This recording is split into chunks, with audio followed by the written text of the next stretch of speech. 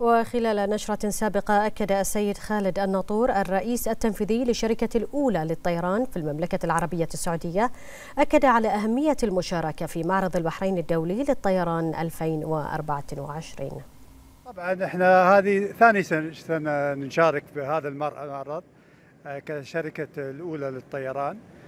طبعا أهميته أن أول شيء البحرين بلد شقيق وجيراننا قريبين علينا. بس من المنطقة الثانية أن تملك كل الخبراء وكل المختصين في مجال الطيران تحت سقف واحد. ف وهذا يسهل لنا على أن نتواصل معهم ونتناقش في مجالات التقنية ومجالات الاتفاقات والخدمات اللوجستية. طبعا شركة الأولى للطيران شركة متكاملة.